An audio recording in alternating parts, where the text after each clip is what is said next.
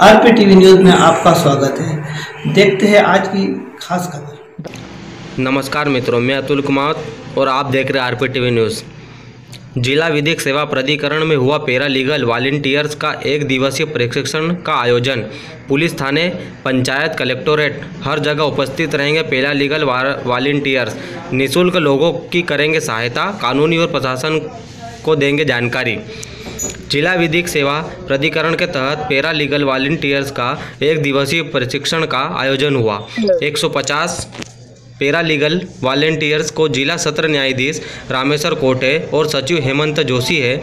नलसा की योजनाओं के बारे में बताया साथ ही आम नागरिकों के बीच पहुंचकर पैरा पैरा लीगल वॉलेंटियर्स की तरह से मदद करें कैसे लोगों के लिए मददगार बने उनको निःशुल्क उनकी कैसे मदद करें शासन की योजनाओं को आम लोगों तक पहुँचाए, उनको योजनाओं का लाभ कैसे लें? साथ ही परामर्श डेस्क के माध्यम से मैं किसी कैसे विवाहित बिछड़े लोगों को कैसे काउंसलिंग कर मिलाए? घरेलू हिंसा के संबंधित जानकारी भी दी। बढ़ते अपराधों के रोकथाम के लिए क्या क्या करना चाहिए?